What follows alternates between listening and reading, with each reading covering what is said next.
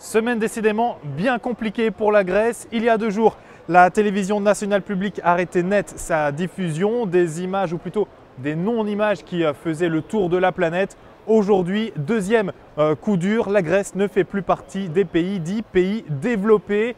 Une décision prise par MSCI, un fournisseur d'indices dont l'examen eh bien, est fatal à l'État grec, la Grèce qui réintègre 12 ans après la liste des pays émergents. Et la mauvaise nouvelle ne s'arrête pas là puisque eh bien, la Grèce intègre le bas de cette liste devancée par des pays comme le Qatar ou encore l'Arabie saoudite.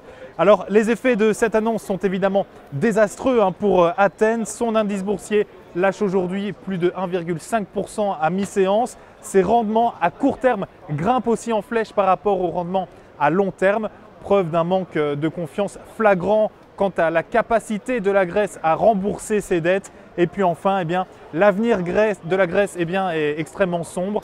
À moyen terme, on devrait voir les fonds d'investissement et autres investisseurs peu à peu délaisser euh, les marchés locaux et donc plonger l'économie euh, grecque dans une spirale plus que négative, une spirale dont il sera bien, bien difficile de sortir pour le gouvernement et la population grecque.